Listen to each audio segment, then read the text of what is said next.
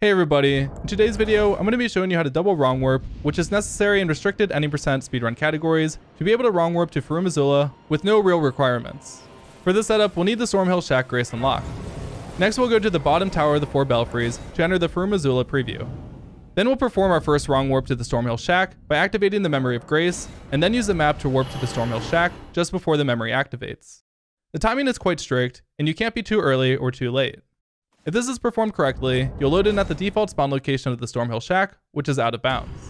Since we loaded on unstable ground, if we quit and reload, the game will wrong warp us again to the default spawn location of the last place we were standing in, which in this case was Farum Azula. Also, if you do happen to miss the timing on the wrong warp, make sure to rest at the Belfry Grace each time, or the warp will not work. If you guys found this video to be helpful, make sure to leave a like, and subscribe for more daily Elden Ring speedrunning content.